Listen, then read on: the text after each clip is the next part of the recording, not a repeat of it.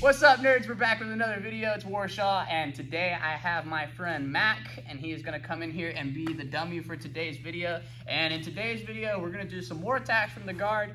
Um, this is going to be in the beginner series playlist. Go check out all of those videos because all of those are targeted to people, hopefully like you that's watching right now. And when I say that, I'm talking to the white belts, new people that are uh, either interested in started or getting started. So make sure you check that playlist out. Um, but we're going to do one of my favorite basic series from the closed guard. We're going to hit some attacks and sweeps. Um, and we're going to talk about chaining your attacks together. So when people talk about chaining your attacks, what that means is being able to recognize when one's not working and knowing what to switch to off of that. Because if we get in the habit where we attack one at a time, if I attack the Kimura, I realize it's gone, I let go and I restart. I'm always starting from ground zero. And, you know, maybe on a brand new white belt, that'll work. But on someone like Mac, who's got a couple of years under his belt, he's a blue belt, you're not gonna catch the first one on him unless your timing is perfect. And that's hard, right? So we have to learn to chain our attacks together, not just our submissions, but also our sweeps, our back takes, our counters, um, so that we can try to stay a couple of steps ahead of our opponent as we're attacking this. So what we're gonna do is we're gonna start in the closed guard. So I have Mac inside the closed guard, and we're gonna start with just some basic application of each of these techniques. So I'm gonna sort of fly through this part, but I want us to understand what we're chaining together before we start chaining it. So we're gonna start, let's talk about the Kimura first. So when I attack the Kimura, obviously if he's got a hand on the mat, it's there. Um, but notice I push the hand out past his knee. I don't want to keep it here where I start to reach up and grab and he's able to immediately hug my back or put the arm uh, under him, hide it under his chest where he can defend the Kimura. I like to get it way out here where it's harder for him to find it. And as I come up, I make sure my chest connects to his shoulder, his is a uh, trap all the way down to his bicep really. So I want good solid contact there. Boom, I'm touching, I still have that wrist control. When I swim, a lot of guys do this. We drop and swim. Notice how, as I did that, you saw my arm slide down to the elbow. I don't want to do this here. Because for me, I feel like it's easier for Mac to defend this by circling or changing the angle. His arm's gonna stay relatively straight. It's easy for him to swing out and grab onto things. And now he's actually entering into an attack himself. So what I want is I wanna keep everything up high. I wanna swim, and as I do, I rip back past my knee and immediately I punch inside. So I don't want it out here in space because we can see Mac's sort of strong, he's long, right? He's gonna be able to fight this out. I wanna put it inside this box between my knee and his shoulder. As I'm connected, this arm that I have uh, reaching through grabbing my own wrist is going to pinch onto Mac's shoulder blade.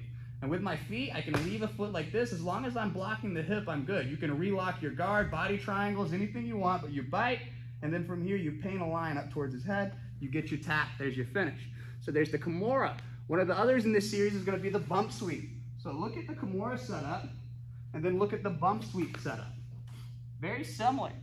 They're, they're neighbors, right? I'm, I'm going cross body on both of these, attacking the same thing. So for the bump sweep, I'm just coming up, making sure I have good control of the arm. I punch it under me as I twist. I pop my hips and bridge to get the finish. So two off of that.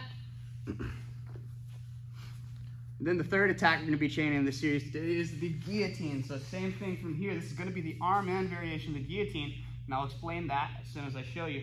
But all of it's happening on this side today. So for the guillotine, arm in simply means that I have his arm inside the loop of the choke. So this is the loop of the choke, right? It makes that close, closed uh, loop right here right? Normal guillotine, I have nothing else inside of it other than his head, and we stretch to finish. That gives me the tap. Well, in this, in the arm in guillotine, if I'm here and I start to stretch, being that his arm is also in that loop, as I start to stretch, look at his head. It starts to pop out. So instead of stretching to finish this, we're going to keep the elbows tight, and I do a sit-up. I pull my knees to my chest, I put my head to his uh, back, basically. So here, it up, I get my tap. So now let's talk about chaining these together. So we're gonna start with the bump sweep. So as we're here, I've worked everything out. I come up and I don't want to stay low on my elbow like I would for the Kimura.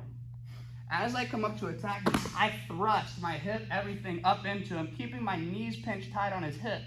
And what's gonna happen is we're either gonna finish the sweep, so we would pop, bump, and finish, or we can come right back up. He's gonna do one of two things. He's going to hug and run me over to flatten me back out, or he's going to post the arm. So if I'm up and he does post the arm way out because he doesn't want me to be able to finish the sweep, we immediately, this hand this uh, on the mat is gonna leave and I'm gonna fall into my Kimura. So as I'm here, back. See, I knocked the arm out from under him. We're back in the same spot. Earlier we were with the Kimura. We get our grip, we pinch, we get our finish. As I'm here, if I go up, bump sweep, instead of posting, he's going to hug.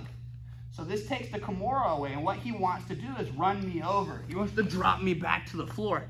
If I wait till I'm at this point, good luck trying to catch the guillotine. You won't find it. It's a timing thing. So as I'm up, when I feel him hug, I'm going to drop my butt and my hips back into the mat. And what that does is that creates a pocket of space between me and Mac. You can see this space here, which means it's gonna be very easy as I switch. So I was up, I drop, as I switch, my hands connect underneath. You can see me waving at you, right? And as I'm sitting back, I keep my head tight, I crunch up, I get my tap.